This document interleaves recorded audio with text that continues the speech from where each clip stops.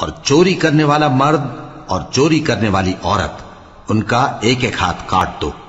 ये उनके करतूतों की सजा और अल्लाह की तरफ़ से इबरत के तौर पर है। और अल्लाह ज़बरदस्त है, साहिब हिकमत है।